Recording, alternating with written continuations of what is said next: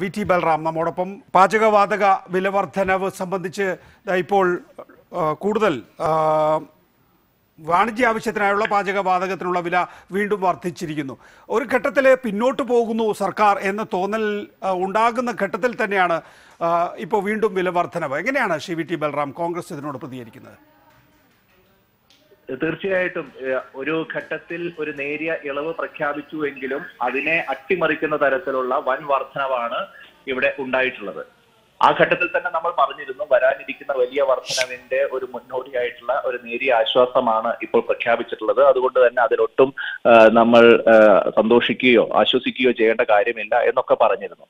ഇപ്പോൾ പാചകവാതകത്തിന് നൂറ്റി ഒന്ന് രൂപ ഒറ്റയടിക്ക് വ്യാവസായിക ആവശ്യത്തിനുള്ള വാണിജ്യ ആവശ്യത്തിനുള്ള സിലിണ്ടറിനാണെങ്കിലും വർദ്ധിപ്പിക്കുക എന്ന് പറയുമ്പോൾ അത് എല്ലാ മേഖലകളിലും അതിന്റെതായിട്ടുള്ള ബുദ്ധിമുട്ടുകൾ ജനങ്ങൾക്ക് ഉണ്ടാക്കും എന്നുള്ള കാര്യത്തിൽ യാതൊരു സംശയവുമില്ല.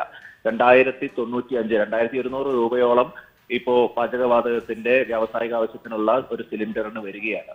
ഏതാണ്ട് ഇരുന്നൂറ്റി അറുപത്തഞ്ച് രൂപയോ മറ്റോ ആണ് ഒരു മാസം മുമ്പ് ഇതിനു വേണ്ടി ഇതിന് വർദ്ധിപ്പിച്ചത്. അപ്പൊ ഈ ഒരു ഒന്നൊന്നര മാസത്തിനകത്ത് ഇക്കാര്യത്തിൽ വർദ്ധിക്കുന്നത് മുന്നൂറ്റി അറുപതോളം രൂപയാണ്. അതായത് മൂന്നിലൊന്നോളം മുപ്പത് മുപ്പത്തഞ്ച് ശതമാനം വർധനവ് ഈ പറയുന്ന ഒരു മാസത്തിനകത്തിന് വരുന്നു എന്ന് പറയുമ്പോൾ അത് എല്ലാ മേഖലകളെയും ബാധിക്കുമെന്നുള്ള കാര്യത്തിൽ യാതൊരു സംശയവുമില്ല. ഏഹ്, കാരണം ഇത് റെസ്റ്റോറന്റുകൾ അടക്കമുള്ള ഹോട്ടലുകൾ അടക്കമുള്ള സംവിധാനങ്ങൾക്കൊക്കെയാണ് ഇത് ഉപയോഗിക്കുന്നത്.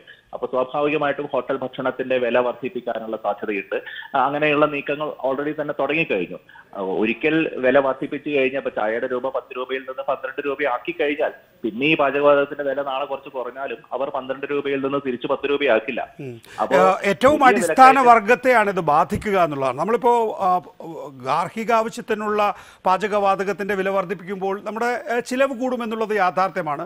പക്ഷേ വീട്ടിലിരുന്ന് സ്വന്തം വീട്ടിൽ നിന്ന് പോയി വരാവുന്ന ജോലി ചെയ്യാൻ കഴിയാത്ത ആളുകളെയാണല്ലോ നേരിട്ട് ഈ വാണിജ്യ ആവശ്യത്തിനുള്ള പാചകവാതകത്തിന്റെ വില വർധന. ഹോട്ടലിൽ ഭക്ഷണം കഴിക്കുന്നവൻ ഗതികേട് കൊണ്ട് കഴിക്കുന്നതാണ്. അപ്പോൾ ഏറ്റവും അടിസ്ഥാന വർഗത്തെയാണ് ഇത് ബാധിക്കുക. തീർച്ചയായിട്ടും. അത് തന്നെയാണ് പറഞ്ഞത്. അപ്പൊ ഒരിക്കൽ വില വർദ്ധിച്ചു കഴിഞ്ഞാൽ ചോറിന്റെ വില അമ്പത് രൂപയിൽ നിന്ന് അറുപത് രൂപയോ എഴുപത് രൂപയായിട്ട് വർദ്ധിപ്പിക്കേണ്ടതായിട്ട് വരും. അപ്പൊ അങ്ങനെ വർദ്ധിപ്പിച്ചു കഴിഞ്ഞാൽ പിന്നെ നാളെ അത് കുറയ്ക്കാനും പറ്റില്ല. കാരണം അങ്ങനെയാണല്ലോ അത് മുന്നോട്ട് പോവുക. നമ്മൾ എത്രയോ അനുഭവങ്ങളിലൂടെ നമുക്ക് ബോധ്യമായിട്ടുള്ള കാര്യമാണല്ലോ. അപ്പൊ അത് ഏറ്റവും സാധാരണക്കാരനെ തന്നെയാണ് ബാധിക്കുന്നത്. ഇനിയിപ്പോ ഗാർ- ഗാർഹിക ആവശ്യത്തിനുള്ള സിലിണ്ടറിന് വില കൂട്ടില്ല എന്ന് നമുക്ക് ആശ്വസിക്കാനും കഴിയില്ല. അത് ഇതിന്റെ പുറകെ വരാനിരിക്കുകയാണ് എന്നാണ് നമ്മൾ മനസ്സിലാക്കുന്നത്. ആ നിലയിലുള്ള റിപ്പോർട്ടുകളാണ് വന്നുകൊണ്ടിരിക്കുന്നത്. അപ്പോ ജനങ്ങൾക്ക് വേണ്ടി ഒരു ആശ്വാസം നൽകി എന്ന് ഒരു മാസം മുമ്പ് നമ്മൾ പ്രതീക്ഷിച്ചതാണ്. അഞ്ചു രൂപയും പത്ത് രൂപയും ഒക്കെ പെട്രോളിനും ഡീസലിനും കുറച്ചപ്പോ. പക്ഷെ അതിനൊക്കെ അട്ടിമറിക്കുന്ന തരത്തിലാണ് ഈ നിലയിലുള്ള പാചകവാതകത്തിന്റെ വില വർധന ദയവായി തുടരുക ശ്രീ വി ടി